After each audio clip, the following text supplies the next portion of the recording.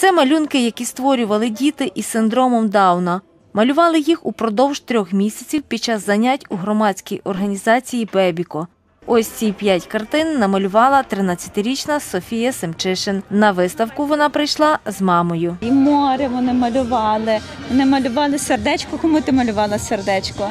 Для кого ти сердечко малювала? Мамі. Для мами сердечко вона малювала.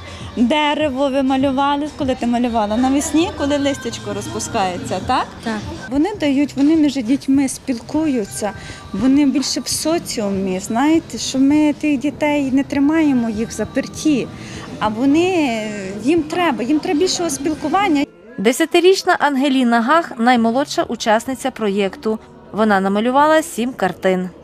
Я малювала п'ять і домалювала ще багато, бо я не мала коли, бо я намалювала бебіко і намалювала гарно і чемно. Ангелінка малює сім'ю, е, краєвиди, пори року може малювати. Ну, що її підійде під настрій, вона це малює. Є таке, що вона гарні яскраві кольори бере, деколи може брати ну, такі темніші тони. Це дуже добрий проект для таких діток, тому що вони в більшості розвиваються.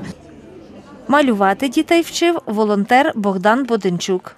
Малювали картини з переважно акварельні фарби, гуаш була, вибирали малюнки. Ось ви бачите, це пейзажі, е, тому що для них важко малювати детальки, а ось е, саме природу і для них було легко малювати. І я бачив кожний урок. З кожним уроком у них змінювалося і бачення, і вони малювали все краще і краще. Ну і ось кінцевий результат ми зараз бачимо ось таку чудову виставку. Проєкт Інклюзивне мистецтво стартував у лютому. Профінансував його нідерландський фонд Генрі Навена. Він надав понад тисячу євро, каже ініціаторка проєкту Ольга Гордієнко. Основною метою було це набуття професійних навичок молоддю з інвалідністю через мистецтво. Під час виставки усі учасники проєкту отримали відзнаки. Світлана Лазорик, Оксана Галіяш. Новини на Суспільному. Тернопіль.